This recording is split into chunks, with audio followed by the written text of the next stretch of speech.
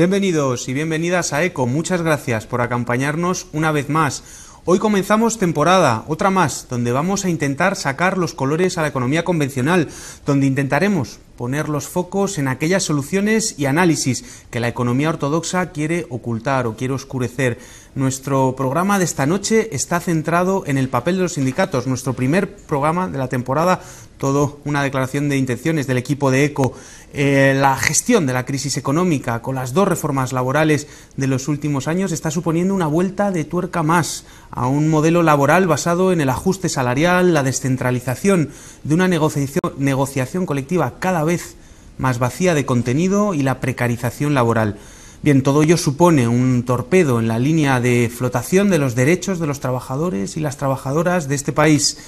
Nosotros desde ECO nos queremos preguntar qué papel pueden jugar los sindicatos en esta situación, en este capitalismo que realmente existe hoy en día, o si pueden los sindicatos propulsar luchas para revertir las tendencias que a primera vista parecen inaplacables o si es posible una acción sindical dada la expansión de las prácticas de subcontratación y externalización a lo largo del mundo. Bien, pues con todos estos interrogantes queremos eh, lanzarlos a la mesa para que nuestros invitados debatan sobre ello. Así que bienvenidos y bienvenidas una vez más a ECO.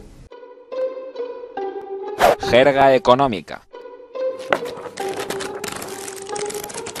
Negociación colectiva. La negociación colectiva es un derecho básico de los trabajadores y de cualquier democracia que se precie. La idea subyacente es que las condiciones de trabajo no pueden ser un asunto particular entre un patrono y un empleado, en evidente posición de debilidad, sino que afectan a todos los trabajadores que están bajo la autoridad de un empresario o grupo de empresarios. Históricamente, el reconocimiento de la negociación colectiva ha implicado que los trabajadores que habían sido privados de voz encuentren un foro en el que puedan expresar sus experiencias de primera mano sobre el proceso de trabajo, formular sus reclamaciones y ofrecer una visión de justicia que puede convertirse en vinculante desde el punto de vista legal. La negociación colectiva puede cubrir acuerdos de empresa, acuerdos de rama o sector económico o acuerdos a escala nacional. La gran ofensiva neoliberal contra la clase trabajadora ha intentado reducir el alcance de la negociación colectiva a su ámbito más estrecho, los acuerdos a nivel de empresa, lo que en algunos casos equivale a su abolición pura y simple. Bueno, pues con esta jerga económica desde ECO queríamos empezar a caminar sobre este debate, sobre este camino que queremos abrir en esta mesa. Y para ello, como decíamos, tenemos unos invitados que nos van a permitir ir desengranando cada uno de los elementos que planteábamos y más allá, y muchos más. Empezamos a presentarlos, si os parece. En primer lugar, está con nosotros Luis Rodríguez, eh, Rodríguez perdón, es economista y además es asesor, asesor económico en procesos de negociación colectiva y reestructuraciones. Muchísimas gracias y bienvenido. muchas gracias. Muy bien, pues también tenemos a Cristina Antoñanzas, que es vicesecretaria general de la Unión General de Trabajadores. Bienvenida, muchísimas gracias por estar con nosotros. Buenas noches. Buenas noches. Y también está con nosotros Fernando Lezcano, secretario de Comunicación y Coordinación de Comisiones Obreras. Bienvenido, muchísimas gracias por estar con nosotros. Hola, buenas noches. Pues si queréis, hemos visto en esta jerga económica este planteamiento de la negociación colectiva, pero más allá de la negociación, si queréis un primer minuto de introducción a bueno pues a vuestra visión eh, acerca del estado del sindicalismo en esta eh, en, nuestro país en estos momentos. Luis, si quieres empezamos contigo. Eh, bien, bueno, yo creo que el sindicalismo tiene una, una posición un poco contradictoria, ¿no? Tiene que defender, eh, o sea, hacer un trabajo imprescindible de defensa de los derechos laborales, de condiciones de empleo y vida, pero de alguna forma eh, también en un contexto recesivo, en un contexto de, dificultad, adopta a veces posicionamientos de acompañamiento a las decisiones del capital. ¿no? Entonces, yo empezaría por eh, diferenciar un poco modelos sindicales, formas de sindicalismo que tratan de confrontar, ¿no? de establecer una eh, perspectiva de combate y contrapoder a, la, amenaza que genera la empresa capitalista y el funcionamiento del sistema económico eh, en este contexto y por otro lado pues otros modelos sindicales que tratan de, de, mantener y hacer suya la lógica de la productividad, de la innovación, etcétera, ¿no? Perfecto, muy bien, muchísimas gracias. Pues si quieres continuamos con nuestra, nuestra primera aproximación. Cristina. Bueno, no por entrar en el debate ya, ¿no? No estoy del todo de acuerdo con lo que Luis decía.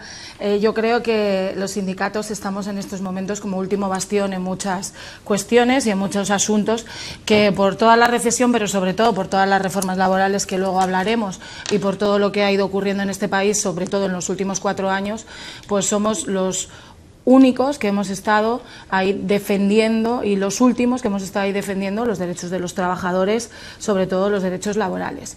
Está claro que hay que confrontar, pero hay que confrontar para algo. No podemos confrontar porque sí. Hay que confrontar, hay que pelear, pero hay que llegar a acuerdos para evitar el cierre de empresas, para evitar la devaluación salarial en muchas ocasiones. Y son acuerdos que no firmamos los sindicatos, no firmamos la estructura del sindicato. Son acuerdos que se ven refrendados siempre por los trabajadores y trabajadoras que les afectan en las empresas. Y eso es para lo que estamos, ¿no? para defenderles a ellos. Muchísimas gracias, Cristina. Fernando un primer minuto acerca de este debate que ya se está produciendo en la mesa. bueno, lo, primero que quisiera hacer es eh, reconocer el, gesto que habéis tenido pensando en un programa dedicado a los sindicatos. En unos tiempos ¿no? en los que eh, unos y otros se han puesto de acuerdo en silenciar la voz de los sindicatos como una estrategia más de cara a poder imponer las políticas de corte neoliberal que se vienen emanando de la Unión Europea y aplicando aquí como si fuésemos los alumnos aventajados. ¿no? Es decir, pues el que le dediquéis un espacio al debate sobre el papel de los sindicatos en los tiempos que corren, a mí me parece un acierto y es obligado a empezar por ahí. ¿no? Y es obligado empezar por ahí precisamente porque creo que eh, de lo que se trata en estos momentos es de que la gente entienda que si no se actúa de manera organizada y de forma colectiva, tenemos todas las de perder. Es decir, el, poder venga del empresario, venga de los poderes públicos, gobiernos autonómicos, eh, estatales, etcétera, etcétera, eh, está claro que eh, va en una dirección y los trabajadores y las trabajadoras lo único que tienen para confrontar esas tendencias es organizarse. Es organizarse, es la fuerza que les da el eh, estar juntos defendiendo una misma causa. Pueden ser reivindicaciones muy concretas en una empresa muy particular o pueden ser reivindicaciones de carácter más general que tengan que ver más con las políticas de corte social, pero lo fundamental es unirse para defender los intereses colectivos. Y esos son los sindicatos. No son otra cosa que una asociación libre de trabajadores y trabajadoras para defender sus intereses frente al capital. Bueno, pues muchísimas gracias. Gracias también por el agradecimiento en nombre del equipo de ECO. Em, eh, queríamos empezar, yo creo que ya habéis desgranado alguna de las cuestiones principales, pero la pregunta eh, para empezar a, debatir, yo creo, que es eh, cuál es el papel que juegan los sindicatos en este momento, ¿no? Es decir, ¿qué es, cuál es el papel en esta inscripción de precarización general, de ataque generalizado a los derechos de los trabajadores. Em, nos decía último bastión, nos decían poder contradictorio y capacidad de organización. Bien, esos elementos, ¿cómo se conjugan en estos momentos? Es decir, el papel de los sindicatos está siendo cuestionado y digamos, cuál es su papel visto desde dentro de los propios sindicatos. Eh, Cristina, empezamos por ti. Considero que es un papel fundamental, pero es un poco eh, como Fernando decía, ¿no? Eh, tenemos que ver y sabemos la, la, política que se está llevando en este país, una política ya no solo de destrozar, vamos a decirlo así claramente, o de eh, arrebatar todos los derechos laborales que se han ido consiguiendo, que se habían conseguido en los últimos años, pero sobre todo yo creo que el papel que tenemos fundamental es de eh, proteger y de una vez protegemos, pelear por conseguir mejorar las condiciones laborales. Ese es nuestro papel fundamental. Nuestro papel fundamental está dentro de la empresa, pero también nosotros somos conscientes eh, de lo que ocurre en la sociedad. Siempre nos han dicho que eh, últimamente ¿no? nos decían que los sindicatos estamos alejados de la sociedad, que no, forma, no sabemos lo que está ocurriendo y eso no es verdad, porque los propios trabajadores y trabajadoras son parte de esa sociedad, ven lo que está ocurriendo, se están privatizando la sanidad, se está privatizando recortes en educación, pero sobre todo dentro de la empresa hacemos algo fundamental, que es eh, por las reformas laborales tanto del Partido Socialista como del Partido Popular se rompió el equilibrio que existía entre el trabajador y entre el empresario para poder negociar. Nosotros tenemos que pelear porque ese equilibrio se restablezca y para eso tenemos fundamentalmente, como decíais al principio en el primer vídeo y explicabais, la negociación colectiva, ¿no? que es nuestra arma fundamental para reequilibrar la riqueza no solo dentro de una empresa, sino, como explicabais, dentro de un sector o incluso dentro de las comunidades autónomas. Luis. Eh, bueno, yo creo que el sindicalismo hoy tiene el gran reto de organizar, ¿no? de, afiliar, de, ampliar en, un contexto difícil la, base, la base afiliativa y militante. ¿no? Para eso, eh, de alguna forma, sí que habría que repensar o renovar algunas, algunas prácticas sindicales para acercar eh, y para adaptar y hacer más flexible el sindicato en la empresa, en los centros productivos. Eh, y sobre todo para conectar con las reivindicaciones de, las mayorías sociales, de la mayoría de trabajadores y trabajadoras, con, con, con, una acción y con una acción efectiva. ¿no?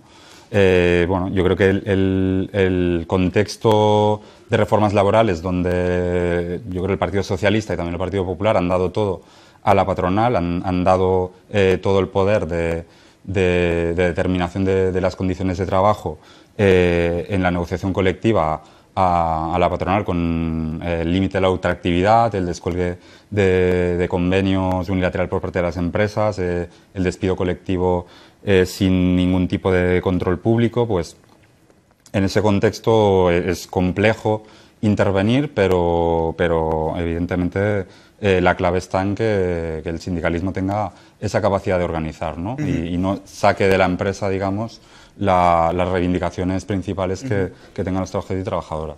Tal vez la capacidad de organización em, eh, es una de las cuestiones esenciales ¿no? del movimiento sindical, pero cuando ha habido ciertos movimientos eh, organizados aquí en España, tal vez el último y más importante, el 15M, la relación con los sindicatos tal vez fue de algo tensa o no todo lo fluida que hubiera debido de ser en esta, en, esta construcción de esa coordinación o de esa, em, eh, en fin, eh, unir fuerzas de los trabajadores, Fernando. Sí, sí, eso se, puede analizar desde muchos puntos de vista, pero en cualquier caso es verdad que ha habido ah, un, espacio de desencuentro, si se puede decir de, de esa manera, ¿no? Pero para mí lo, más importante es poder interpretar un poco qué es lo que está pasando y en relación a ello interpretar cuál es el papel de los sindicatos y qué nos toca hacer. ¿no? esto es complicado, pero se puede explicar de una manera relativamente sencilla. ¿no?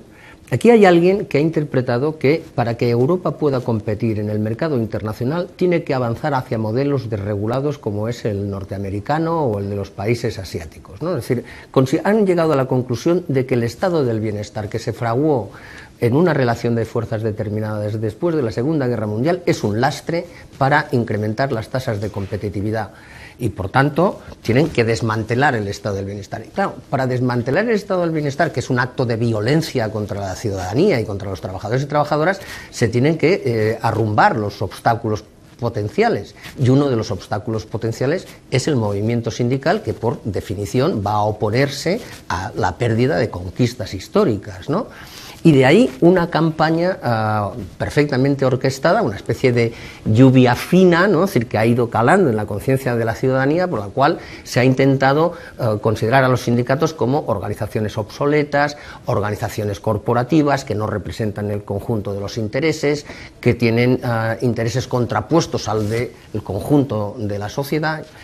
Claro, esto es justo lo contrario.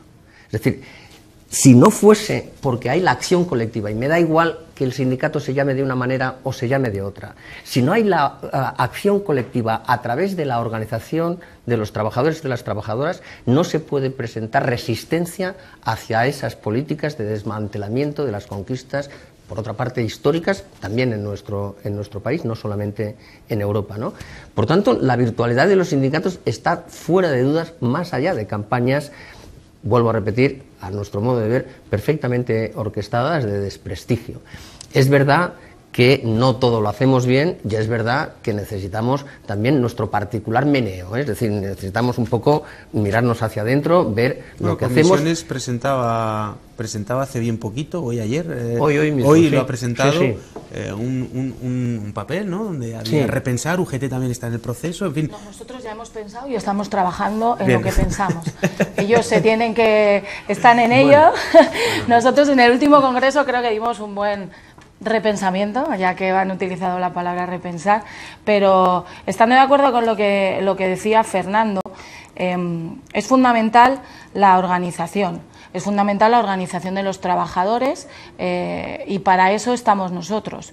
Mm, el, alejamiento eh, quizá que se produjo de lo que tú decías, ¿no? de eh, con ciertos movimientos sociales, eh, con el 15OM, plataformas, mareas, pero es que nosotros hemos formado parte de todo eso. Quizá ese desprestigio que no lo tenemos en el centro de trabajo, pero sí que lo hemos tenido en la sociedad, está claro, no hay que poner paños calientes, pero eso es lo que tenemos que recuperar, eso es lo que tenemos que recuperar nosotros. Dijéramos ese prestigio o que la sociedad piense en general que servimos para algo. El trabajador lo sabe, en su centro de trabajo cuando tiene un problema acude a un sindicato, pero sí que es verdad que los ciudadanos y ciudadanas eh, tienen que ver que nosotros realmente estamos ahí para algo y eso es lo fundamental y eso es lo que al menos desde la UGT ya hemos pensado y ya estamos actuando. Luis, no sé si desde la. Yo creo que habéis, eh, y Fernando estaba hablando un poquito de las amenazas que se ciernen sobre el sindicato. No, no, se ciernen, es que las venimos sufriendo desde hace ya unos cuantos años. exactamente.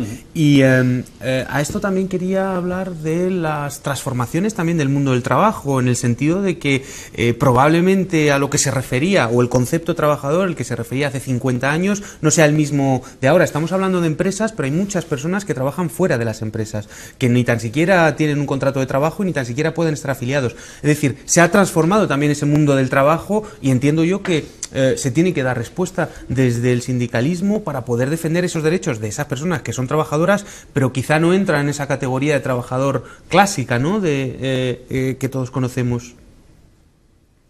Te lo preguntaba a ti. A mí mismo, ¿no?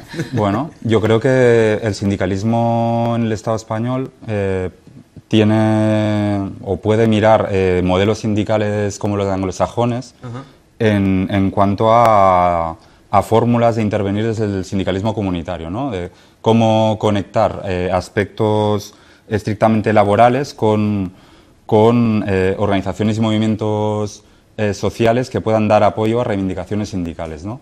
Entonces, para cuestiones eh, relacionadas con, con, esa fragmentación que, que, se impone en los sistemas productivos.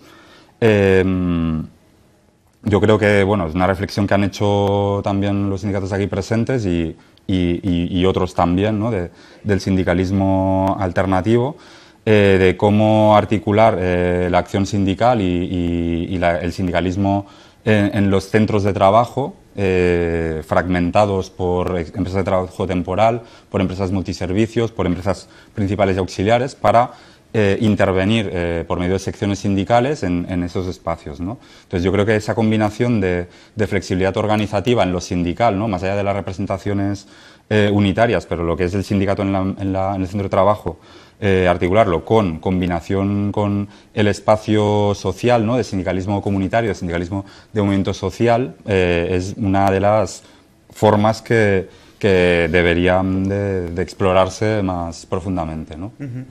Cristina, sí, me gustaría saber eh, también en, vuestra perspectiva eh, cómo se puede repensar, qué modelos, ¿no? Estabais diciendo, pues sí, hay cosas que hay que cambiar, otras cosas que no. Evidentemente el mundo cambia y todas las instituciones tienen que cambiar con el mundo, pero eh, ¿qué tipo de cambios podríamos introducir para hacer frente a esas amenazas que estaban diciendo que, bueno, prácticamente todo el mundo es decir, desde que existen trabajadores están siendo atacados por el capital, ¿no? Los sindicatos se introducen, pero quiero decir, estas últimas amenazas, ¿cómo podemos defendernos? A ver, la, eh, la, mejor forma de defenderte es eh, estar al lado de, dijéramos de defender lo que es la figura del sindicato, pero el sindicato mm, no somos nosotros, los sindicatos son nuestros afiliados, nuestras afiliadas, nuestros delegados, nuestras delegadas.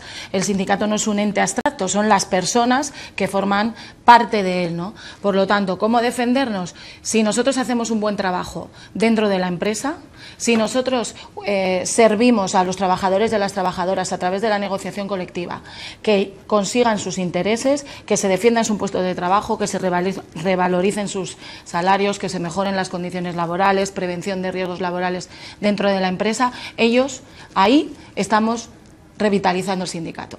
Y eso es lo que tenemos que hacer, acercarnos a la empresa, acercarnos al centro de trabajo. Pero hay algo fundamental que Luis apostaba, eh, apuntaba, perdón, eh, que son eh, las empresas multiservicio, que es ahí donde hay que derogar la reforma laboral. Hemos dado prevalencia al convenio de empresa frente, frente al, a los convenios sectoriales y por lo tanto, o los convenios provinciales, y por lo tanto, ese es el problema que estamos viendo, es lo que estamos viendo que se están introduciendo eh, en las grandes empresas o en la administración pública. Trabajadores que estén sentados en la misma mesa, que uno cobre la mitad que otro, porque no tiene un convenio de empresa. Por lo tanto, hay que atajar eso. Y tiene que existir un convenio que sea paraguas, por ejemplo, en una gran empresa, a todos los trabajadores, sean eh, temporales o no, eso ya está así, pero que un convenio marco eh, sea paraguas de todos esos trabajadores que tú decías que no pueden tener ese convenio. Por lo tanto, hay que estar muy atentos al teletrabajo, hay que estar muy atentos al trabajo en casa, hay que eh, exigir cambios Em, la inspección de trabajo. Todos sabemos que la inspección de trabajo no puede hacer a un domicilio privado, por lo tanto, se pueden producir muchos fraudes eh, por eso, ¿no? Y eso es lo que hay que ir cambiando. Pero sí que es verdad que esos trabajadores tienen que sentir y tienen que notar que hay alguien detrás de él. Que ellos tengan el contrato que tengan, temporal, indefinido en casa o en el centro de trabajo, va a haber un sindicato que va a estar apoyándolos y que sus propios compañeros en la empresa van a estar apoyándoles. Y eso es lo fundamental. Si ahí estamos, si ven los trabajadores y las trabajadoras que podemos estar a su lado y defender sus derechos, se va a revitalizar el sindicato. Claro, tal vez el problema es que ahora mismo no se... ¿Sabes qué pasa? Que, eh, yo creo que nosotros tendríamos que reflexionar sobre eh, las dificultades no que tenemos los sindicatos, sino que tienen los trabajadores y trabajadoras para defender sus intereses. Y me explico. Nosotros tenemos una primera dificultad que tiene que ver con la realidad de nuestro tejido productivo y la segmentación que supone algo más de un 5% de gran empresa frente a casi un 95% de pequeña y mediana empresa, cuando no microempresa en los tiempos que corren. ¿Vale? Claro, la, organización de los trabajadores en una gran empresa es bastante distinta a la que se permite y posibilita en la pequeña y mediana empresa. Si hablamos ya de la micro, ni te cuento. Y si hablamos de la proliferación con esta ah, pantomima que se ha montado con los emprendedores, ¿no? De, que es algo así como la gente que se busque la vida, ¿no? Es decir, por el lado de los autónomos y tal, es decir, esa es una dificultad objetiva. Cada vez creciente, además. Claro, claro, claro. Esa es una dificultad objetiva, vuelvo a repetir, no para los sindicatos, sino para la acción colectiva de los trabajadores y las trabajadoras. La segunda ah, peculiaridad es que eh, tenemos casi 5 millones de parados, 4 millones y, pico según la encuesta de población activa, que están fuera del proceso productivo del mercado de trabajo y que eh, se ven más ah, empujados a la búsqueda de soluciones individuales. Tenemos más del 50% de los jóvenes en el desempleo, sin incorporarse al mercado de trabajo, cuando no están saliendo del país a buscarse la vida como buenamente puedan fuera de las fronteras nacionales. Pero es que además tenemos un cambio de políticas eh, empresariales, es decir, las estrategias empresariales han cambiado hasta el extremo de que han externalizado los riesgos. Nosotros conocíamos, y así surgió el movimiento obrero organizado, la gran empresa Fabril que compendiaba el conjunto del proceso productivo. Claro, eso ahora ya no pasa. Te voy a cortar porque tenemos justo un vídeo que habla de eso que estás ah, comentando. Enseguida volvemos con tu intervención. Discúlpame porque tenemos que meterlo justo que está preparado. Eh, es un vídeo histórico acerca de precisamente dónde viene eh, el, movimiento sindical y cuál es el nacimiento y cuál es la situación ahora. Vamos a verla, enseguida volvemos, enseguida volvemos con Fernando, eh, que le he cortado abruptamente para ver este vídeo, pero yo creo que merece la pena. Desde el comienzo de la revolución industrial a finales del siglo XVIII, masas de trabajadores despojadas de sus medios de vida tradicionales en el campo tuvieron que desplazarse a las fábricas de las ciudades. La historia de la formación de las clases obreras es la historia de un largo proceso, por el que familias e individuos de muy distintas procedencias descubrieron que compartían unas experiencias comunes con sus compañeros de trabajo, que solo por medio de un esfuerzo colectivo podían transformar sus condiciones de vida.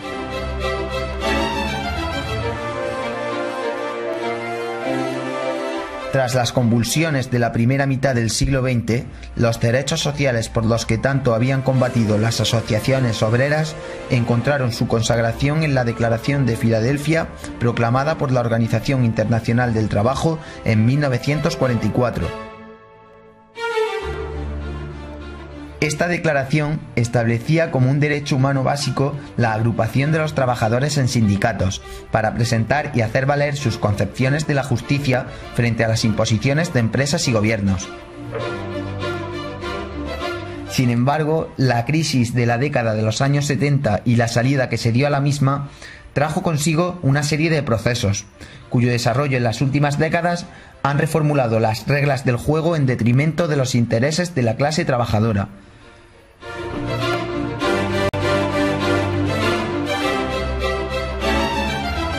las transformaciones en los modos de organizar la producción y el trabajo, los cambios en las estrategias empresariales y el acoso y el desprestigio al que han sido sometidos los sindicatos son elementos que ayudan a explicar el desequilibrio en la balanza de poder entre capital y trabajo en la actualidad. Sí, decíamos que habíamos introducido justo este vídeo precisamente porque habla de esa transformación de lo que es el concepto de trabajador y por ende eh, de lo que debería ser la transformación de, esos sindicatos, ¿no? Fernando, te estábamos cortando justo cuando hablabas de... está, está, está, muy bien formulado porque eh, es verdad, es decir, las estrategias empresariales han cambiado de manera muy significativa. Eh, lo que han hecho ha sido externalizar los riesgos, ¿no? Es decir, aquellos segmentos del proceso productivo que menos valor añadido aportan, y eh, que, por contra, le suponen más eh, riesgos, los externalizan, que es lo que conocemos ya con la lógica de la subcontratación, las empresas auxiliares, etcétera, sub, etcétera. Sub, sub, subcontratación. Pero hay más ingredientes. Eh, la introducción de las nuevas tecnologías de la información y la comunicación al proceso productivo ha generado otro perfil de trabajador y de trabajadora. Ya no tiene que estar en un proceso productivo, en una misma unidad, en una misma empresa. Puede hacerlo desde casa. ¿no? Hay trabajos que se pueden hacer en estos momentos desde casa y se está promocionando cada vez más esa dinámica. Si tú a eso le añades la precarización laboral, la precarización laboral que lo que hace es un antídoto contra la acción colectiva y una individualización de las relaciones eh, laborales.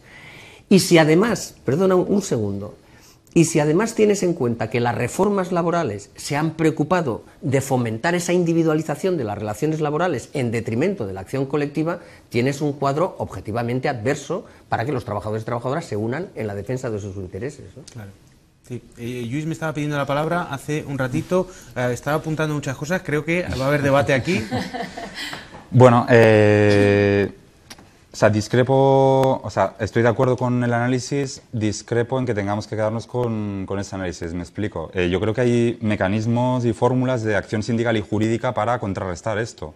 Y cuando hablamos de acción sindical hablamos de contenidos de negociación colectiva. O sea, yo creo que una, una de las cuestiones fundamentales del sindicalismo hoy en día es qué contenidos negocia, eh, si, es, si esta negociación colectiva es rica o no, si tiene capacidad de legislar desde, desde la negociación colectiva. ¿no? Eh, y por otro lado, eh, esos contenidos están relacionados con la capacidad de confrontación. ¿no? en el País Vasco, en Euskal Herria, hay otro, otros sindicatos, hay otro modelo sindical. Una de las características que tienen esos otros sindicatos es que tienen capacidad de confrontación porque disponen de caja de resistencia confederal que promueve, o sea, da capacidad de huelga indefinida con cobro de como mínimo el salario mínimo eh, mensual y eh, por trabajador en huelga. ¿no? Entonces, eso te da una capacidad de confrontación que te permite introducir eh, cláusulas que, desmonten las reformas laborales, que alarguen la ultraactividad. Te da capacidad de ampliar derechos de información y consulta y control sindical. Te da capacidad de, en los contenidos sustantivos de salarios, jornada, eh, aplicar eh, las consignas de salario mínimo que se piden al, al, poder, tratarlo de aplicar vía negociación colectiva. ¿no? Entonces, yo creo que estos elementos son importantes. Son los elementos que utilizamos nosotros en la son, elementos son, son, muy importantes, pero no has dicho que en el País Vasco hay una proliferación de la negociación empresa a empresa frente, a la esos sindicatos que tú hablabas que lo que hace es uh, o sea, lo que nosotros la reforma laboral del Partido Popular lo que hizo sobre todo es prevalecer el convenio de empresa. Esos sindicatos del País Vasco lo que no quieren hablar es de eh, negociación sectorial. Eh, lo hemos dicho en esta mesa, el 95% de las empresas de este país son de menos de 10 trabajadores. Tiene que existir un convenio sectorial paraguas para esos millones de trabajadores que trabajan en estas empresas y que no van a poder negociar de tú a tú con el dueño de la empresa que está sentado a tu lado. Para, no tienes esa fuerza. Por lo tanto, eh, los sindicatos vascos, el AILA, pues tendrán algunas cosas que, cuestiones que Luis, eh, Luis decía y que estén bien, pero obviamente nosotros no vamos a estar en absoluto a favor de la negociación empresa a empresa porque estás desvirtualizando todo lo que nosotros decimos, sino que tiene que haber una negociación colectiva que eh, sea, insisto en esta palabra porque es fundamental, un paraguas para aquellos que no pueden negociar. Nosotros en la negociación colectiva también introducimos cláusulas, también hablamos y negociamos y tenemos capacidad de confrontar. Tú, eh, los sectores nuestros en unidad de acción confrontamos en muchas ocasiones y se consiguen muchísimas cuestiones. Yo niego la mayor, aunque negociemos convenios colectivos eh, sin contenido. No es así. Se negocian convenios colectivos. Eh, firmamos un, acuerdo de negociación colectiva con los empresarios que tenemos que renovar y que ese propio acuerdo frenó ciertas cuestiones de la reforma laboral del Partido Popular. Por lo tanto, yo creo que sí que es fundamental el trabajo que nosotros hacemos en las empresas y el trabajo que se hace en la negociación colectiva. no sé si eh, bueno, quería puntualizar alguna cuestión. Es decir, yo no he hablado de negociación a nivel de empresa, pero podemos hablar. ¿eh? Eh, yo cuando asesoro a un colectivo de trabajadores hay una cuestión fundamental que es la correlación de fuerzas. Entonces, tú, donde tú tienes correlación de fuerzas, tienes capacidad de aplicar contenidos. Yo no estoy de acuerdo en que en una empresa de se, se firmen... no tienes correlación de fuerzas. Bueno, pero en una pyme de 50, versus un sector, eh, yo creo que hay correlación de fuerzas. Entonces, y la correlación de fuerzas no te la da tanto el ámbito, que, mm, sino te la da la capacidad de, confrontación. Entonces, mm, es obvio que no hay capacidad de confrontación eh, para huelga indefinida, pueda ser eh, a nivel de empresa o a nivel sectorial, porque también se están eh, desarrollando ahora mismo en Vizcaya mm, principalmente eh, huelgas a nivel sectorial en residencias, ¿no? Afectan a 5.000, 6.000 trabajadoras y es una huelga a nivel sectorial. Eh, o son huelgas a nivel, a nivel sectorial. te lo da los instrumentos, ¿no? Entonces, esa diferencia. es verdad que hacer huelga en España es muy caro, quiero decir, a un trabajador, decir, decir también es eh, un, derecho que deberíamos luchar, ¿no? Es decir, sale muy caro y probablemente aquellos trabajadores que más necesidad tengan de acudir a este instrumento de lucha que es la huelga no puedan, porque no tienen capacidad, ¿no? Es que, el, bueno, en mi opinión, ¿eh? no, no, pretendo ser categórico, ¿eh? ¿eh? el problema no es que salga caro el problema es que es muy difícil hacer huelga. Es decir, es que hacer huelga es un acto oh, que tiene consecuencias no solo, no solo económicas. Y el problema, en nuestra opinión, no está ah, residenciado en la mediana y gran empresa donde hay, con unas siglas o con otras, organización de los trabajadores en torno a un u otro sindicato. El problema está en los cientos de miles en los millones de trabajadores y trabajadoras que tenemos fuera de la negociación colectiva. Porque a esas personas, ¿quién les defiende? ¿Cómo pueden defenderse frente al empresario en unas relaciones tan desiguales como las que tenemos en la actualidad.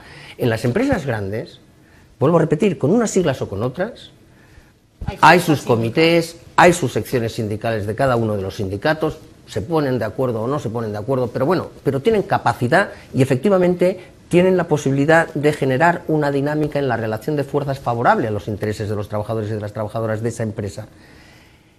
Pero ¿qué pasa en la pequeña empresa? ¿Qué pasa en toda la gente que su relación es de una semana de trabajo en una empresa de un sector determinado, pasa por el desempleo y al cabo de varias semanas se incorpora a otra empresa por otros días de otro sector distinto?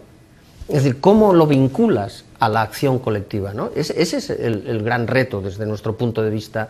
Por tanto, la extensión de la negociación colectiva para ir abarcando cada vez más trabajadores y trabajadoras, darles más cobertura a los trabajadores y trabajadoras es una cuestión fundamental. Es lo contrario de, lo que han hecho las últimas reformas liberales. de ahí la dinámica, claro, de ahí la dinámica de promoción de los convenios de sector frente al convenio de empresa, que es un proceso que va hacia la individualización de las relaciones laborales. Porque a lo mejor en una gran empresa podrás negociar un buen convenio de empresa, pero las empresas pequeñas, ¿cómo los, negociamos? Es curioso, sí, que ciertos otros modelos, como por ejemplo el alemán, predomine la negociación de empresa y sin embargo Em, la empresa, quiero decir, empresa individual más que el sectorial, pero sin embargo los salarios y el crecimiento de los salarios no se ve afectado por ese proceso, ¿no? Perdonad que introduzca este inciso, pero eh, Cristina, sí, sí. Sí, no, pero estamos hablando de dos tejidos empresariales muy diferentes. Claro. Esa es la cuestión, ¿no? En una gran empresa tú puedes tener una correlación de fuerzas, tú tienes esa correlación de empresa de fuerzas. En una empresa o ya no hablo en una empresa, hablamos de tejido industrial, en un comercio que tú, eh, está la dependienta o el dependiente y el dueño o la dueña, eh, ¿qué vas a negociar? ¿Cómo, qué, capacidad, qué correlación de fuerzas hay ahí? Tiene que existir un convenio sectorial. Esa es la cuestión fundamental. Por lo tanto, eh, no es comparable eh, Alemania con España en el sentido de, sobre todo, eh, el tejido industrial que tiene. Y también sí que es verdad que allí los sindicatos sectoriales son muy fuertes también y se firman convenios sectoriales, aunque luego nosotros firmamos convenios de empresa. En aquellas empresas, como estábamos hablando, donde hay esa correlación, tú puedes firmar convenios de empresa que mejoran en gran mayoría, si no siempre, el convenio sectorial. pero cuando tú puedes, pero claro, tiene que existir siempre ese marco que abarque a todas esas personas que, que estaba comentando Fernando, que, que, no tienen esa capacidad, que no van a hacer huelga, ya no porque les cueste dinero, es que al día siguiente están en la calle. Pues si tú tienes un contrato de días eh, contratado por semanas o aunque sea de meses, sabes que si haces huelga al día siguiente vas a estar en la calle. Por eso es complicado hacer huelga en este país, no que cueste más o menos dinero. Bueno, sí, quiero decir, eh, Independiente está cercenado el derecho de huelga, que es un derecho y no debería costar dinero, pero hay gente que no puede permitírselo. Pero, eh, Luis, decías, eh, me estabas pidiendo la palabra. Quería hacer un apunte, ¿no? Un poco. Bueno, yo creo que el sindicalismo quizás tiene que. el repensar el sindicalismo tiene que ser también repensar, volver a los orígenes, y me explico. Eh, cuando el sindicalismo en el Estado español actuó como monopolista de la fuerza de, fuerza de trabajo, es decir, cubría el, eh, o sea, la afiliación sindical eh, cubría la posibilidad de, que el sindicato eh, promoviera la contratación, es decir, el capital es el, quien tiene el monopolio de, los medios de producción, pero el sindicato debe ser quien tenga el monopolio de, la fuerza de, fuerza de trabajo. ¿no? Pues en esta lógica de volver a los orígenes, eh, es como tú puedes romper esa, esa, fragmentación entre empleo, precariedad, desempleo, eh, siendo el sindicato conectado también con movimiento social, ¿no? con asambleas de, de parados que puedan, digamos, presionar, eh, reducir horas extras, promover políticas desde la negociación colectiva de pleno empleo, ¿no? reducción de jornada laboral, orientando hacia el pleno empleo. ¿no? Entonces, yo creo que este tipo de cuestiones son centrales y luego me gustaría responder a la cuestión de los acuerdos de negociación colectiva. Eh, y me centraré en una cuestión solamente, o sea, yo creo que son soft law, o sea, es ley, o sea, ley suave, ¿no? No, no es vinculante. ¿Por qué? Porque yo voy a un proceso de, de despido colectivo, de negociación colectiva, y lo que establece, por ejemplo, el tercer acuerdo de negociación colectiva respecto a qué información tiene que entregar obligatoriamente una empresa a la hora de negociar, para analizar la causa, para analizar si ha existido algún tipo de fraude económico, etcétera, eso no es vinculante. Lo que vincula es la ley y, la jurisprudencia, ¿no? Entonces, mm, hablamos de contenidos y hablamos de vinculación efectiva de lo que se firma. Yo creo que cuando se sube de escala se pierde esa vinculación efectiva, ¿no? Vamos a ir, eh, quería haceros una pregunta para, hemos tratado la situación aquí, la que vivimos, em, pero estamos inscritos en el proceso de integración europea, Fernando antes lo apuntaba, y la pregunta que os quería lanzar era, eh, bueno, ¿cómo afecta este proceso de integración a los derechos de los trabajadores? Tal vez es una pregunta muy obvia porque me vais a responder los tres que, que afecta negativamente, pero podría afectar positivamente, es decir, ¿puede ser la Unión Europea una palanca de protección de los trabajadores? Por ejemplo, ahora con el Brexit, algunas personas decían que esa deriva liberal eh, a la que tiraba eh, Inglaterra eh, a, la Unión Europea se elimina, ¿no? No había firmado la Carta de Derechos Laborales Inglaterra, etcétera, etcétera. Bien, ¿puede la Unión Europea servir de palanca para reforzar todo lo que habéis puesto encima de la mesa o está completamente perdido? Y es una pregunta que lanza la mesa, que la coja la puede Por poder podría y debería, pero está claro que en estos momentos eh, el Parlamento Europeo está claro eh, qué color político tiene, ¿no? Y en estos momentos eh, la política liberal o neoliberal que ha llevado a cabo la Comisión y la Unión Europea ha sido la que es, ¿no? Y de hecho tenemos el claro ejemplo que nos hemos manifestado en contra del TTIP y del CETA, ¿no? Los tratados de libre comercio. por lo tanto, vemos hacia dónde va eso que decías, ¿no? La deriva de la Unión Europea. Va a todo lo contrario que defendemos, que defendemos nosotros, hacia la privatización de servicios públicos, a la liberación eh, de todos los derechos laborales, todo lo contrario de lo que decimos. Por lo tanto, debería proteger. Eh, ahora están hablando de un pilar social, pero que creemos que se va a quedar en pura palabra, eh, porque si tú no haces eh, algo de obligado cumplimiento, y ahí estoy de acuerdo con, con si tú no haces una directiva que se tenga que cumplir y que la Unión Europea tenga esas herramientas que no utiliza en muchas ocasiones para hacer que se cumpla una directiva, pues vemos hacia dónde va. Y lamentablemente, eh, aunque nosotros a nivel europeo, dentro de la Conferencia Europea de Sindicatos, presionamos, pero eh, en estos momentos eh, la Unión Europea hacía más protección de los trabajadores, hacia unos servicios públicos de calidad, unos servicios sociales de calidad, pues lamentablemente no va. Yo, creo que, voy a decir algo que es una obviedad, ¿eh? es decir, que ve todo el mundo, así es que no esperéis originalidades. ¿eh?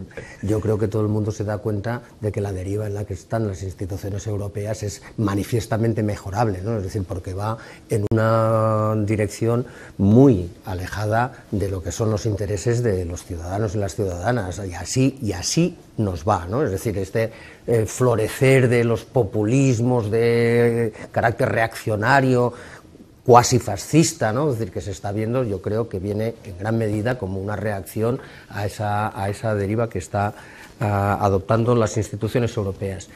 Por supuesto, la Unión Europea podía, ¿eh? decir, podía ejercer una labor de armonización de derechos, y el problema es que han emprendido un camino que va en la dirección contraria.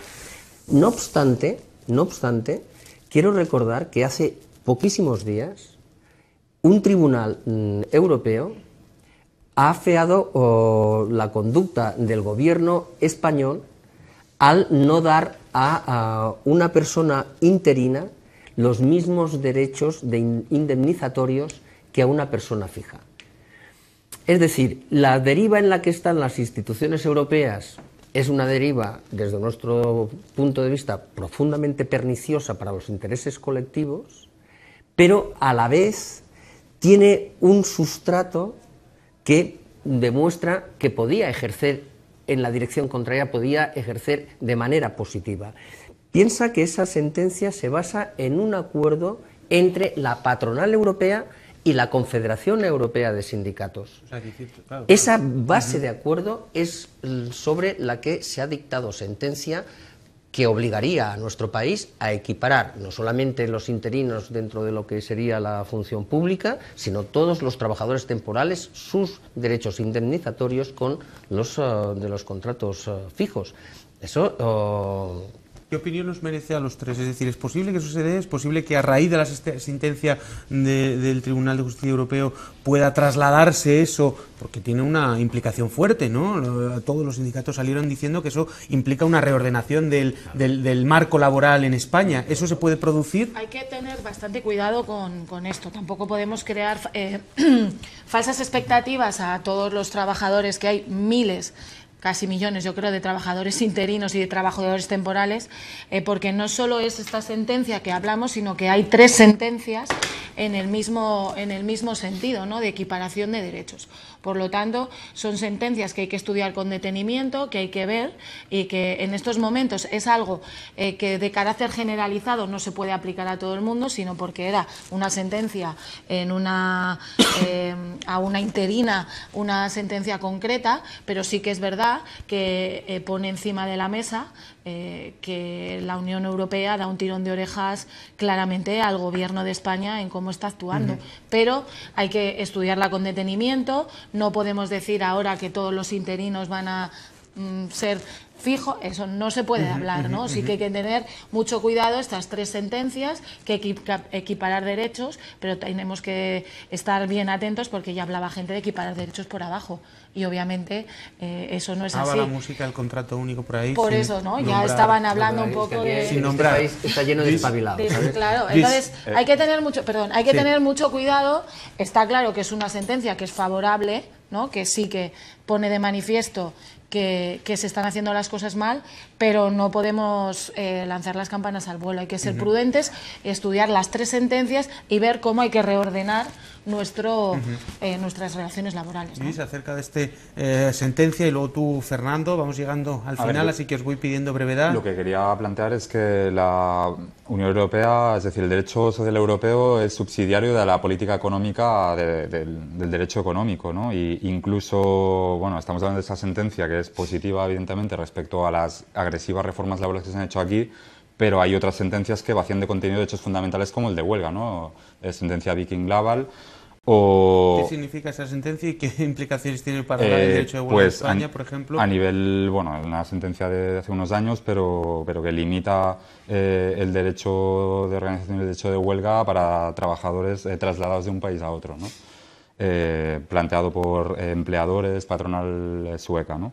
Entonces, quiero decir, el neoliberalismo también se aplica al, al, área jurídica, ¿no? Y, bueno, y haría en positivo otra sentencia eh, de ampliación de derechos de información y consulta, donde eh, equipara el despido colectivo en centro de trabajo a la vez que en empresa, según sea mejor para los trabajadores de la y consulta, ¿no? de un caso eh, de ahí el País Vasco, ¿no? Munguía, que, ha sentado jurisprudencia en el Tribunal Supremo.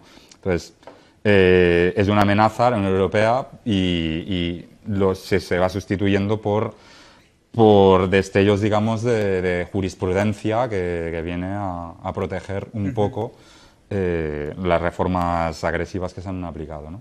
Fernando, brevemente acerca de la posibilidad bueno, vamos a ver, es que, eh, claro, aquí cada uno tendrá el punto de vista que tenga, es decir, yo soy un convencido, es decir, de la construcción europea, lo que pasa es que estamos hablando de un modelo radicalmente alternativo al que se está construyendo en la actualidad, ¿no? Es decir, esto tan manido, ¿no? Es decir, de la Europa de los ciudadanos y de las ciudadanas, la Europa de los trabajadores y de las trabajadoras, la Europa de los derechos, la Europa del estado del bienestar, frente a las derivas que no ahora, sino desde hace ya tiempo está adoptando las instituciones europeas. Lo que pasa es que yo quería poner esa sentencia no, no tanto para que nos desgañitemos eh, escudriñando en ella, sino para ah, resaltar que el marco europeo no es todo tan pernicioso, es decir, que, tenemos ahí eh, una base sobre la que construir otra Europa, ¿no? Es decir, que hay, que hay potencialidad,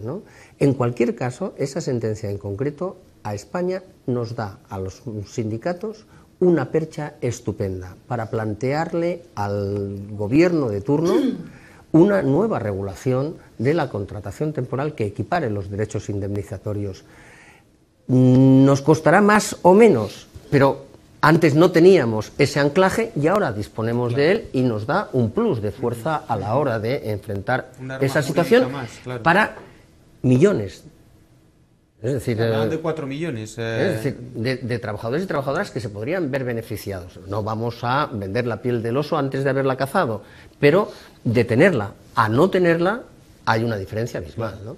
Muy bien, pues yo creo que nos habéis dado buenos elementos de análisis para entender no solo la situación del sindicalismo, sino diferentes perspectivas de acercarnos a este, eh, bueno, a la institución tan importante que es el sindicato. Si os que- sí que os pediría a cada uno de vosotros eh, que nos regalarais con un minuto final acerca, bueno, de conclusiones, ¿no? De lo que hemos hablado, de aquello que queréis que se quede en la retina o en la última, el último fotograma de este programa acerca de, de- sindicatos. Luis, vamos a empezar contigo.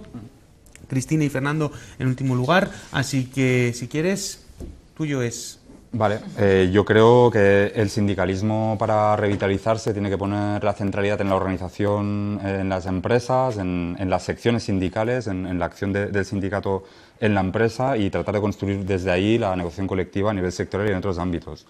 Que la negociación colectiva, sus contenidos tienen que caminar hacia elementos de control sindical económico, es decir, de legislar desde, desde la negociación colectiva debido a que eh, los gobiernos no eh, están eh, desregulando de forma, de forma que quitan cualquier tipo de protección a ese nivel, que es necesario dotarse de instrumentos como cajas de resistencia para confrontar, es decir, es imposible conseguir contenidos de negociación colectiva que inapliquen reformas laborales si no tienes capacidad de, de conflicto y huelga indefinida, y que es precisa autonomía financiera, tanto para tener una caja de resistencia potente, eh, mayor peso de las cuotas en la, en la estructura financiera de los sindicatos y mayor autonomía política también. Muy bien, muchas gracias. Cristina, tu minuto. Bueno, eh, por mi parte y por UGT, ¿no? Eh, sí que eh, primero agradeceros esta oportunidad de estar aquí, pero sobre todo yo creo que es algo fundamental. Eh, los sindicatos somos fundamentales en nuestro país, igual que en otros países, para defender los derechos de los trabajadores. En nuestro país se nos recoge en el artículo 7 de la, de la Constitución. Eh, negociamos para todos los trabajadores, estén afiliados o no. Eso es algo importante que se nos tiene que reconocer. Hemos hablado mucho en esta tertulia de negociación colectiva, no hemos hablado tanto del diálogo social que ejercemos eh, los sindicatos con los gobiernos eh, para minimizar en, muchos casos la labor y todos los recortes y estas políticas que se han llevado a cabo en los últimos años. Y yo creo que es fundamental nuestro papel, nuestro papel para organizar, nuestro papel para ayudar y nuestro papel para estar también en la sociedad. Nosotros es fundamental y nuestro hábitat natural es el centro de trabajo, pero no nos podemos olvidar de todo lo que ocurre alrededor. Somos sindicatos, somos sindicatos de clase y nuestro principal arma es la negociación colectiva. Pero nosotros tenemos que eh, no ser el sistema, sino ser un instrumento del sistema para cambiar las cosas, un instrumento de los trabajadores para cambiar las cosas, un instrumento de los ciudadanos para cambiar lo que no nos gusta. Y para eso estamos los sindicatos, para organizar, para defender y para ayudar a todos los ciudadanos y ciudadanas en general, sin olvidarnos a parados, a estudiantes, a jóvenes que no tienen trabajo, a todo el mundo. No hemos hablado de pobreza, eh, eh, termino. No hemos hablado de pobreza. Hay trabajadores pobres, hay trabajadores que van todos los días a trabajar y no, eh, no llegan a fin de mes y de eso nos tenemos que preocupar también. Por lo tanto, tenemos que ser cada vez más fuertes y tenemos que estar cada vez más pegados al terreno. Muchas gracias, Cristina. Fernando.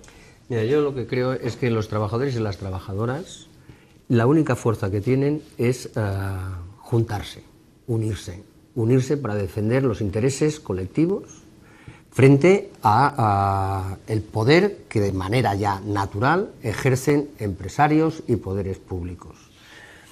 Creo que eh, eso se puede hacer de diversas formas, pero hay una que viene avalada por la historia, que es eh, la organización a través de los sindicatos, entre otras razones porque no solamente agrupan intereses, sino que ya disponen de recursos, de estrategias, de asesoramiento económico, eh, jurídico, para cualificar la defensa particular y colectiva de los intereses de los trabajadores y las trabajadoras.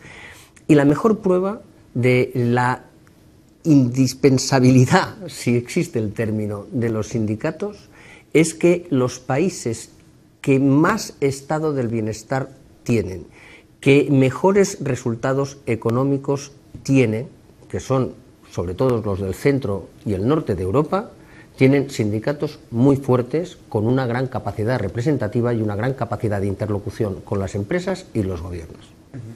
Bueno, pues muchísimas gracias. Yo creo que ha sido un programa donde hemos podido aprender todos muchísimas cosas. Así que gracias a los tres por haber estado con nosotros. Ha sido un placer, es que ricasco. Así que seguimos y esperamos volver a teneros con nosotros otra vez porque significaría que volvemos a hablar de los sindicatos. Muy bien, muchísimas gracias. Y como siempre, queríamos o no queríamos terminar eh, ECO eh, perdiendo las buenas tradiciones, esas que nos, eh, que, nos hacen invitaros o bien acudir a algún evento social o bien leer alguna, eh, algún texto que sea interesante en relación con lo que acabamos de tratar. Y precisamente en términos de un libro que se ha publicado hace no mucho, se llama 2008, La crisis de la ideología neoliberal, de Lorenzo Martínez Padrino, de la colección conscientes. Bien, pues este, este libro habla precisamente de esa crisis, eh, de esta ideología que es la que domina, que es la que eh, ha justificado y ha dado argumentos a este ataque a los derechos de los trabajadores y por tanto, pues os lo queríamos poner en vuestro conocimiento para que eh, tengáis más elementos de análisis de los que se han expuesto en la mesa. Y por otro lado, el día, 20, el día 29 y 30 de septiembre ya ha pasado, pero ocurrió o se celebró un encuentro, el segundo encuentro de profesionales de asesoramiento laboral y social en la Facultad de Relaciones Laborales eh, y Trabajo Social eh, eh, en Madrid. bien, se pueden encontrar los materiales en la web, vuelvo a repetir el nombre, Encuentro de Profesionales del Asesoramiento Laboral y Social. Se puede encontrar los materiales que se utilizaron en la web, las ponencias y los diversos materiales que seguro que son de muchísimo interés y que tienen mucho que ver con todos los elementos que hemos analizado hoy aquí en esta mesa. Pues nada más, dentro de dos semanas vuelve ECO con otro tema para dar o para sacarle los colores a la economía. Muchísimas gracias.